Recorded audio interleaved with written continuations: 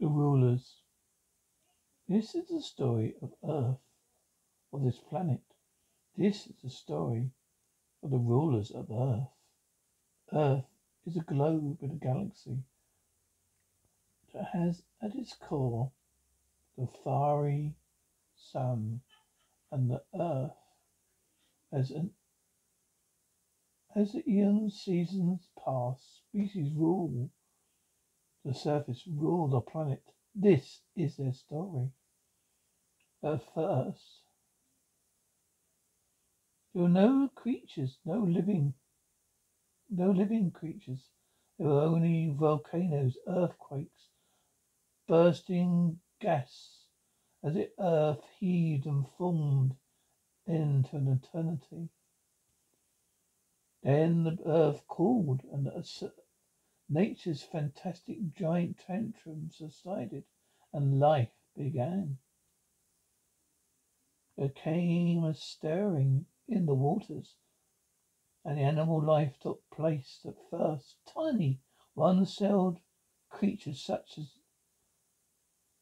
can be seen now in a drop of water through a microscope.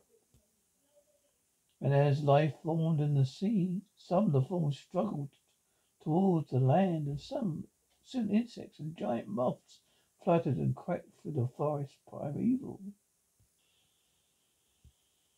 In the sea, life forms grew and took different shapes, and giant sea beasts cavorted killed or were killed beneath the waves.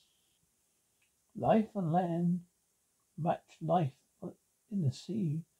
Giants trod the earth, and the day of the Sultanians had come to be. The and those great lizards ruled the earth, roaring shaking the ground with their huge feet, horrors whose equal was never known on earth. Eons they ruled for that, for what could defeat these insensitive giants? They walked the earth like the conquerors they were. But something did conquer the giants, and they died, and a new life form became the rulers of earth. Again, nature was lavish, and rulers of giants, the, the kinds, huge saber-toothed tigers, monsters, bears, giant sloths, wolves as big as today's Kodiak bears. There was also a strange ape-like creature who huddled in a cave, who decked itself from the huge meat eaters. This creature was the forefather of the rulers on earth, man. The centuries passed, and man, by invention, subdued the beasts and ruled the world. And so the rulers of earth each had the day in the sun The question is, after man, who or what will rule?